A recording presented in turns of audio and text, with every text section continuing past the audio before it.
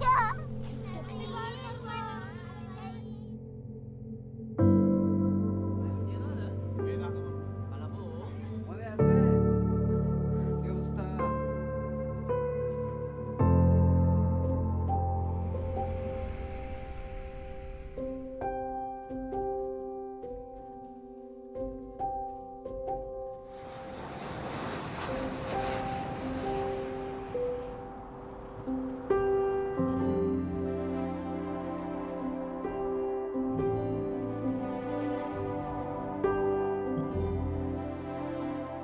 필리핀에 가서도 이방인이고요. 그쵸?